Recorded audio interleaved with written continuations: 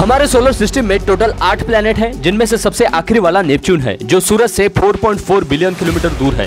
अब ज़ाहिर सी बात है सनराइज वहाँ पे बहुत ही कम पहुँचती है तो वहाँ का टेम्परेचर बहुत कम होगा, जो माइनस दो डिग्री सेल्सियस है। लेकिन ये सोलर सिस्टम का सबसे कोल्ड प्लेनेट नहीं है, क्योंकि यूरेनस का टेम्परेचर माइनस दो डिग्री सेल्सियस पाया गया है। लेकिन दोस्तों, इससे भी शॉकिंग बात यह है कि अगर पूरे सोलर सिस्टम में सबसे कूलेस्ट प्लेस की बात की जाए तो चाँद का साउथ लूनार पोल है, क्योंकि वहाँ पे सनराइज बिल्कुल भी नहीं पहुँच सकते, इसलिए वहाँ का टेम्परेचर माइनस दो सौ चालीस डिग्री सेल्सियस है।